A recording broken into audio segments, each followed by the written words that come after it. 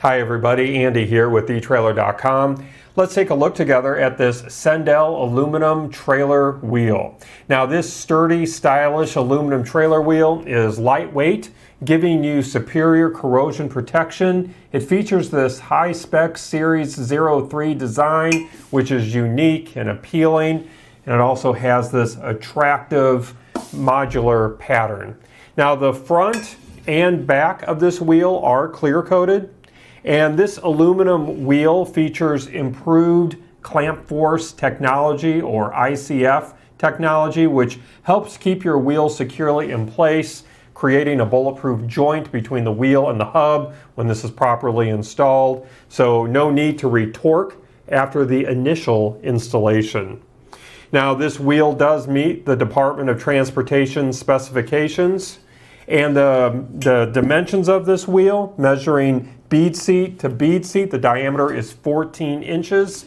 And the width, again, measuring bead seat to bead seat, is five and a half inches. And our bolt pattern is five on four and a half inches.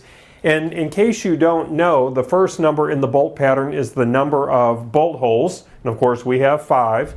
And the second number is the diameter in inches of the circle on which the bolt holes sit. So to determine the bolt circle diameter on wheels with an odd number of bolt holes as we have here, you simply measure from the center of any bolt hole to the point halfway between the two bolt holes directly across from the first. The wheel stud size is a half an inch by 20 and this does have a capacity of 2,200 pounds and we do have that stamped here uh, on our wheel on the inside. Hopefully you can see that. So again, our capacity is 2,200 pounds. The center cap is sold separately, but if you just decide to pick one up, you just need to make sure that it fits the pilot diameter of 3.19 inches.